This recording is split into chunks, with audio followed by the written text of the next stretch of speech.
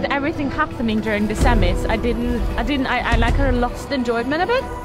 But first and foremost, I just want to go out, and I'm gonna, I'm just gonna have fun and find like fire and be a bit fearless. Like, I just want to stand there in my lane and just like, I just get excited just thinking about it. Just ooh, just go.